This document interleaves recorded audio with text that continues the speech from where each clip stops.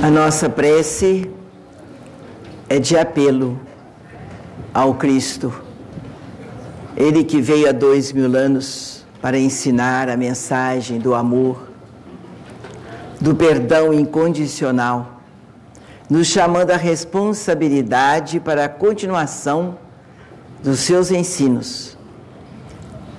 Ele venceu a maldade do mundo, venceu o teto pesado que nos serve de cobertura e chegou até nós na mais bela e sublime mensagem de Deus. E nos deixou o caminho, nos deixou a verdade, nos ensinou a viver para que pudéssemos ser felizes. E a cada instante os seus trabalhadores encarnados amparados pelos trabalhadores reais desencarnados, procuram nos ajudar, nos lembrando, nos acordando para as divinas lições. E como nós temos percebido, a humanidade a que nós fazemos parte ainda não entendeu a mensagem do Cristo. Nós ainda somos altamente indisciplinados Precisamos aprender a ter paciência. O Cristo tem paciência conosco. Há dois mil anos ele vem esperando o nosso progresso para que melhoremos o mundo que ele criou como escola. E ele é o mestre. Nós somos os alunos faltosos, deficientes, desatentos. Depois de uma lição linda do Evangelho do Cristo, nós ainda falhamos. Nós ainda erramos nas pequenas coisas. Continuamos sem paciência. Se nós queremos receber as bênçãos de Deus, a doutrina nos ensina que não existe milagre. Existe trabalho e progresso. Felicidade é consequência. E nós temos que trabalhar a nossa alma para que ela seja paciente, para que ela seja disciplinada para que ela saiba buscar os valores eternos, evitando assim sofrimentos desnecessários.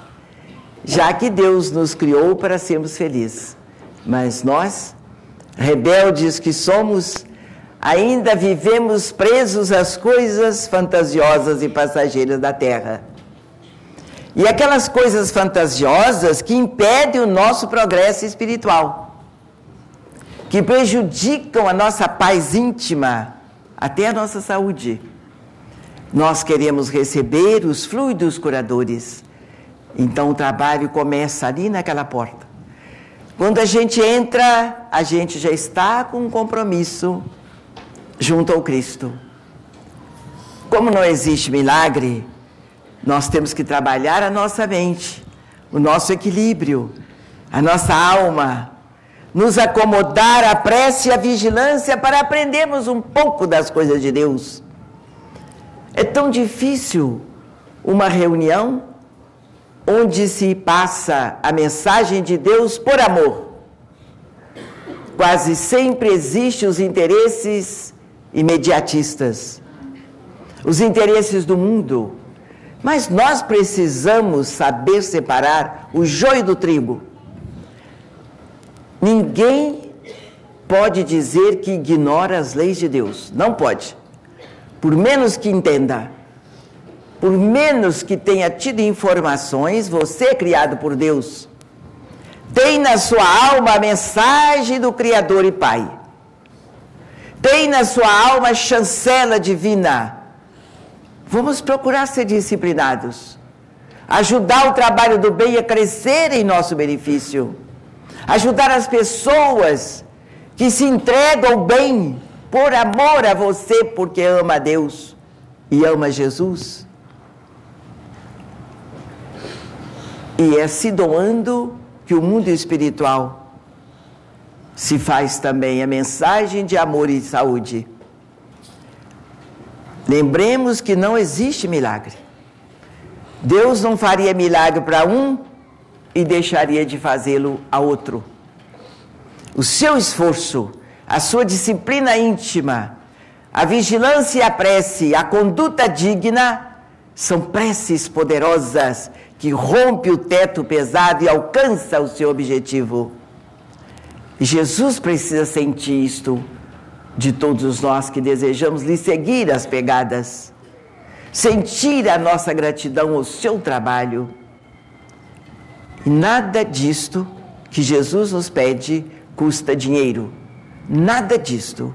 Custa amor, responsabilidade com os seus atos, com a sua maneira de ser. E a doutrina ainda nos ensina a estudar, a estudar a mensagem de Jesus à luz do Espírito Eterno, para que você aprenda e consiga buscar diretamente da fonte inesgotável de sabedoria de vibrações curadoras, você mesmo vai buscar para você. Porque o trabalhador é também humano. De alguma forma ele é egoísta. Ele não vai dar para você tudo o que ele recebe dos céus. Ele vai dar o que sobra dele. Mas a doutrina, que é a mensagem de Jesus, da maneira que ele deixou, que ele viveu, que ele vivenciou, esta, vivida por você, vai lhe dar condições de receber na sua prece sincera as energias que curam. Esteja você aqui, ali ou em qualquer parte do planeta. Vigiai e orai, para que as tentações do mundo interno e externo não impeçam a sua caminhada de evolução espiritual. Jesus ouve todas as preces sinceras Seja sincero com Cristo. E o Cristo não decepciona quem nele confia. Esta certeza que abre as portas do entendimento e da razão, para que as nossas emoções sejam verdadeiramente mensagens de confiança em Deus e de sinceridade no nosso dia a dia para que as pessoas que conosco conviverem sintam reflexo da bondade do Cristo e tenham vontade de segui-lo também. A felicidade, então, será uma realidade. E o mundo não terá condições de lhe maltratar, nem tampouco as enfermidades.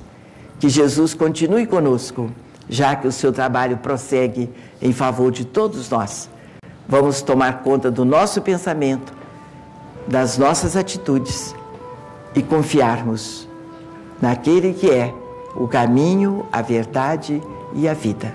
Graças a Deus.